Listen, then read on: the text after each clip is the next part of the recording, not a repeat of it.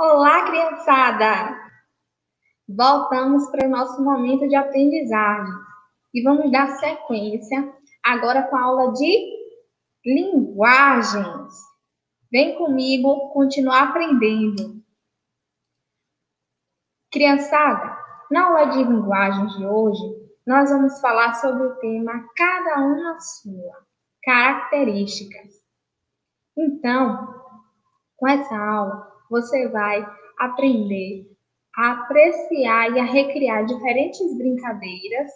Você também vai aprender a localizar informações nos textos e você também vai aprender a fazer a, a reconhecer a sonoridade presente nas palavras, reconhecendo a representação escrita dos elementos sonoros.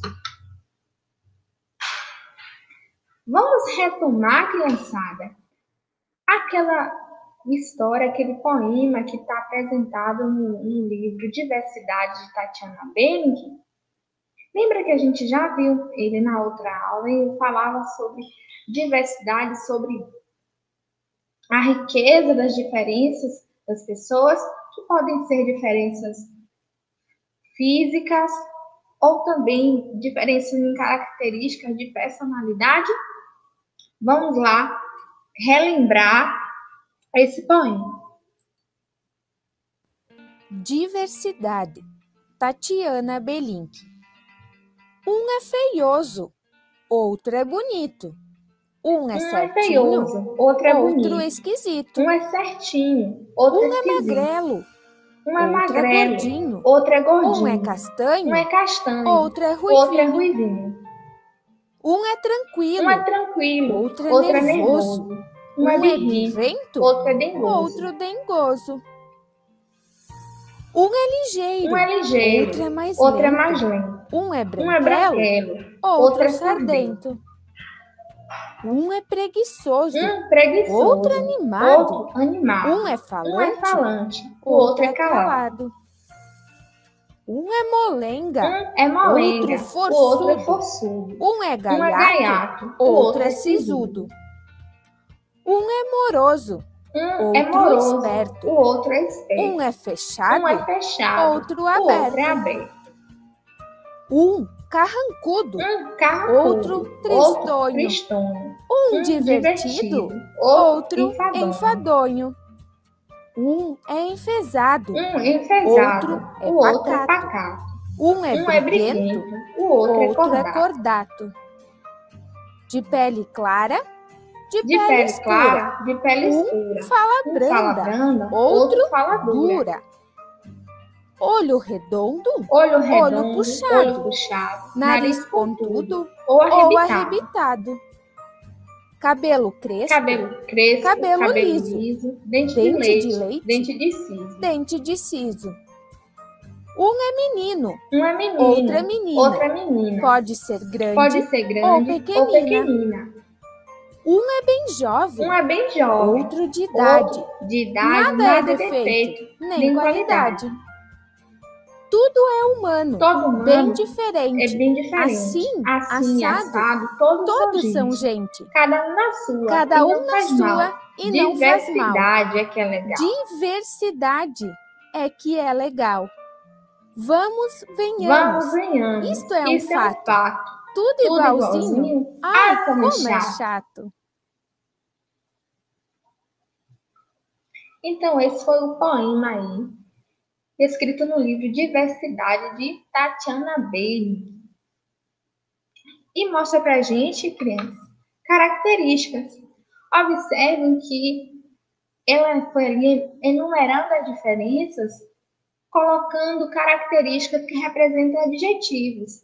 Então, feio, bonito, magro, gordo, falante, calado, são características que dão identidade para uma pessoa. São características, por exemplo, que a gente pode colocar como a cor, o formato, dão identidade para um objeto, tá? Então a gente vai ver que todas as pessoas têm características próprias. A cor dos olhos, a cor da boca, né, o formato da boca, a cor da pele, a textura do cabelo, o tamanho, se a pessoa é alta, se é baixa. Todas essas são características. Lembre-se, crianças, nada disso é defeito ou qualidade. É característica. É a especificidade que dá identidade para aquela pessoa, que torna ela única. Agora, observe aqui essa imagem. Que características a gente consegue observar, né? a gente consegue ver? Vamos fazer uma lista com as características físicas que a gente consegue observar? Pegar aí o caderno, o lápis que a gente vai fazer essa lista juntinhos. Então, observe essa, essa mulher, né? A gente vê a imagem que é uma mulher. E a gente vai enumerar as características físicas dela. Então, a gente observa o cabelo, um cabelo crespo. A pele, pele negra. E os olhos? Né, o físico dela, o corpo dela. A gente vê que é um corpo magro. Então, é uma mulher magra, né? Olha o nariz. Observe que a ponta do nariz dela é um pouco mais arredondada. Então, a gente escreve aí a característica. Nariz arredondado. Os olhos são olhos pretos. Então, vão observando aí que essas são as características que tornam essa pessoa quem ela é, a identidade dela. Essas características físicas não são defeitos, nem tampouco qualidades.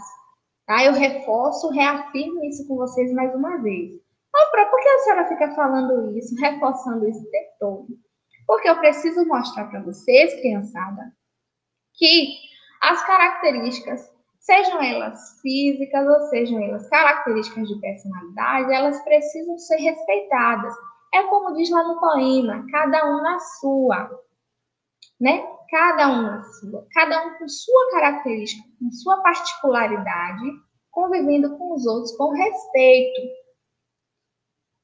Então, lá na aula de ciências humanas, a gente já viu um pouco falando sobre desrespeito, sobre bullying, que acontece em algumas situações que a gente observa entre crianças, que algumas ficam é, intimidando, tentando humilhar um colega por alguma característica física, como ser gordinho, ou ter o cabelo crespo, ou ter o, o ou ser muito alto, né? E esse tipo de situação a gente precisa evitar, porque, além de ser muito desrespeitosa, traz muita dor e sofrimento para quem sofre esse tipo de situação. Então, vamos ver aqui uma outra imagem e tentar identificar as características físicas que estão expostas nessa imagem. Olha, a gente vê que esse homem tem um cabelo liso, né? Que agora é a figura de um homem. Ele tem um é um homem que tem a pele branca, tem lábios finos.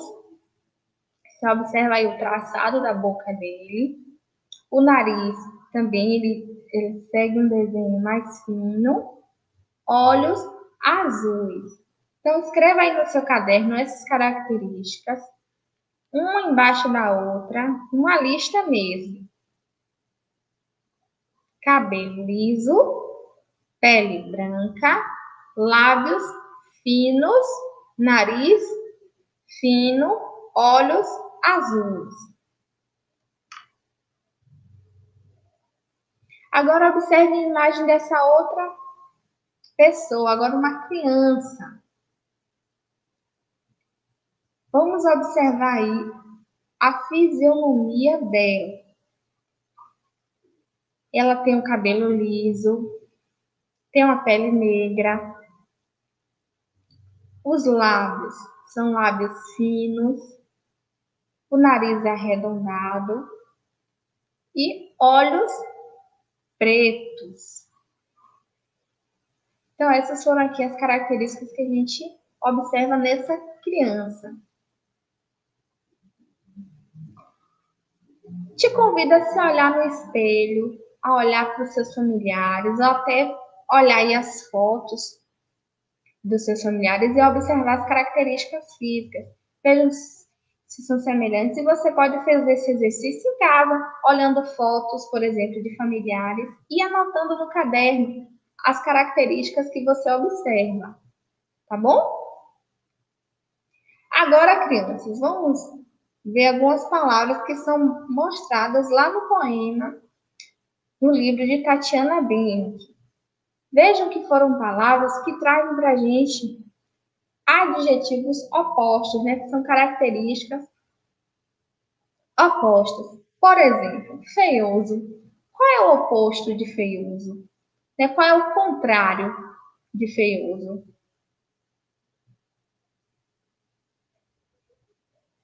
É bonito.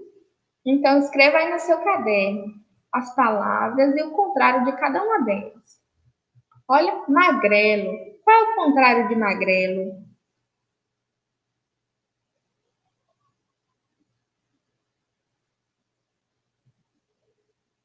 Gordinho. Tranquilo. Qual é o contrário de tranquilo?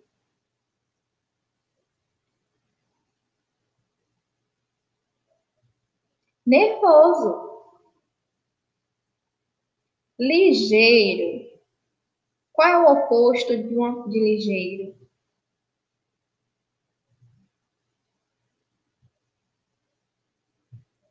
Lento. Então, vai escrevendo aí no caderno esses adjetivos e o contrário de cada um deles, tá bom? Você pode, se não tiver dificuldade para acompanhar, pode voltar para a aula nesse momento, pausar o vídeo e e escrevendo aí devagar. O contrário de falante é calado. Então, uma pessoa que não é falante, ela é calada. Fechado. Qual é o contrário? Aberto. Claro. Escuro. Crespo liso, menino, menina. Então, aí foram algumas palavras que foram apresentadas no poema e que mostram, são apresentadas, são mostradas o contrário delas, né? características opostas. Lembrando, crianças, que um adjetivo ele vai o adjetivo ele vai ressaltar a característica de uma pessoa, de um objeto, tá? Então, essas foram as características que a gente viu aqui. Eu vou pedir agora para que você continue aprendendo em casa. Você faça um desenho de você mesmo. Se olhe no espelho, vá se observando e depois faça um desenho no caderno de você mesmo. E aí você vai escrever essas características.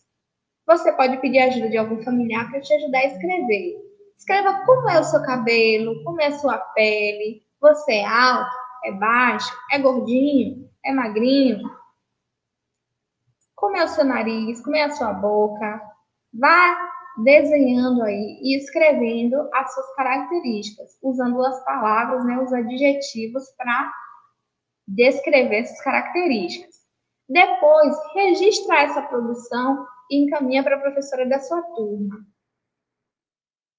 Agora, criançada, eu também vou mostrar para vocês que em casa vocês podem assistir o vídeo de uma brincadeira muito legal, que é a brincadeira cabra cega. Nessa brincadeira, você vai fechar os olhos, você pode usar uma um pano para poder fazer uma venda né, nos seus olhos para que você não enxergue.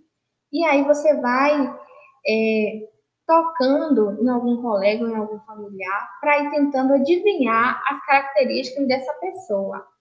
Ou adivinhar quem é a pessoa só tocando pelo rosto, tá? É uma brincadeira muito divertida que você pode fazer em casa com seus familiares. Vocês sabiam que tem crianças, tem pessoas que não enxergam, são as pessoas cegas?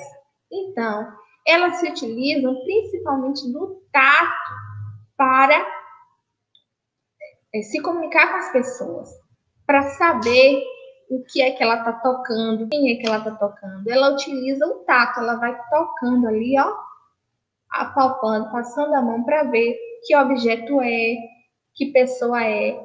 E é essa dinâmica que você vai fazer nessa brincadeira cabra cega. Vou mostrar o vídeo para você aprender. Dia de brincar apresenta? Vamos brincar! Só falta o Felipe pra gente começar. Ele entra na próxima rodada, ali. É, então a brincadeira tá bem, funciona desse jeito. Então, quem vai ser a cabra cega? Eu, eu, eu. Mas como um é que brinca disso? Você só tem que tocar em alguém e adivinhar de E aí, a voz. uma Muito criança mole. Que vai que ficar isso? vendada, né, de olhos fechados, ali não ia ter vendada com lá. Então, ela vai tocando Ali, passou longe. só para que só com tato ela descubra quem é a pessoa, descubra quais são as características Já sei, é o. Dudu. Olha como é Olha lá, o divertido. Felipe chegou. O que ele tá fazendo, gente? Cabra cega. Ah, tá, Cash. Por que vocês estão rindo tanto?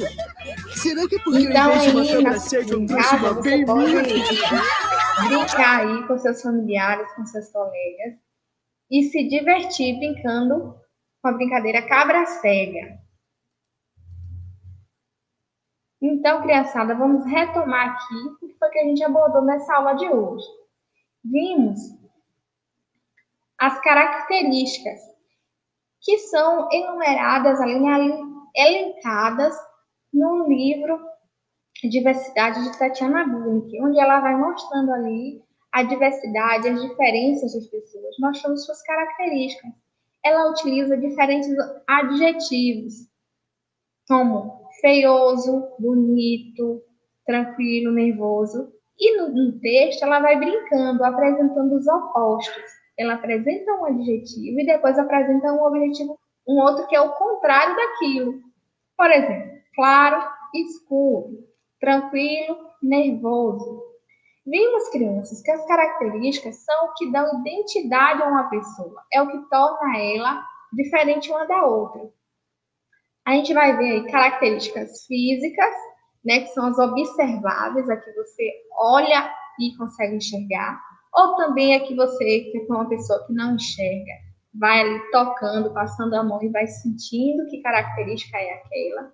Mas também tem as características de personalidade, como uma pessoa ser falante, ser tran tranquila, né, ser calma, que está relacionado à, à maneira de ser. Não é algo que você observa os olhos, né? Você ali na convivência que vai percebendo com essa pessoa.